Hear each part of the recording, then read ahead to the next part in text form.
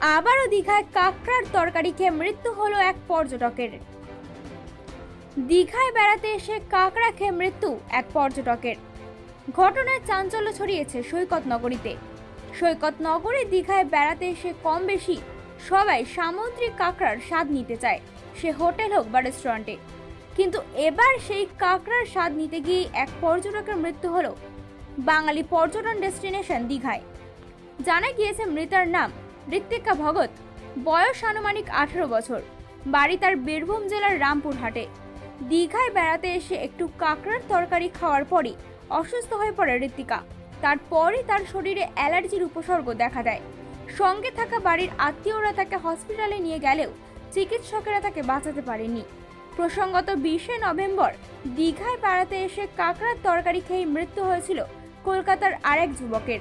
মৃত সেই ব্যক্তির নাম সৌমদীপ শিকদার বয়স বাইশ বছর। কলকাতার বেহালার বাসিন্দা ছিল ওই যুবক। আবারও সৈকত শহর দীঘায় বেড়াতে এসে কাঁকড়ার তরকারি খেয়ে মৃত্যুর ঘটনায় চাঞ্চল্য ছড়িয়েছে দীঘায়। আচ্ছা দাদা কি ঘটেছে? দাদা আমরা তো ঘর ফ্যামিলির তো আমরা আজকে সকালের মধ্যে পৌঁছালাম। আমরা যতটা শুনলাম যে ঘটনাস্থলে ছিল তার কাছ থেকে আমরা যতটা শুনলাম কি ও একটু এলার্জির প্রবলেম ছিল শ্বাসকষ্টের প্রবলেম ছিল, ডাক্তার দেখাতে এসেছিল, ডাক্তার ফাক্তার দেখিয়ে যেটুকু হাতের সময় থাকে সে হাতের সময় নিয়ে ওরা একটু বিচ সমুদ্র বিচ টাইপের সাইডে গেছে। দিয়ে গিয়ে ওখানে একটু রেস্টুরেন্টে খাওয়া দাওয়া করেছে, যেটা ক্যাঁকড়া বলে না সে ক্যাঁকড়াটাই খাওয়া দাওয়া করেছে। একটুই খেয়েছে, বেশি খায়নি। একটু খাওয়াতে ওর একটু সিমটমটা ধরা পড়েছে অ্যালার্জির সিমটমটা তার সঙ্গে তো ওই তৎক্ষণাৎ পেশেন্টকে নিয়ে যে জামাই ছিল, দাদা ছিল ঘরের, সে জামাই নিয়ে দৌড়াতে শুরু করেছে। কারণ সেই ঘটনাস্থলে গাড়ি, যানবাহনের কোনো ব্যবস্থা পায়নি। তার জন্য ও দৌড়াতে দৌড়াতে নিয়ে এসে যখন হসপিটালে ভর্তি করেছে, কিন্তু হসপিটালেরও সিস্টেম খুব ভালো ছিল না। যতটা শুনলাম, একটা এমার্জেন্সি পেশেন্ট একটা এমার্জেন্সি পেশেন্টের উপরে যে হিসাবে যে হিসাবে তড়িঘড়ি থাকে, সেই হিসাবে কিচ্ছু ছিল না।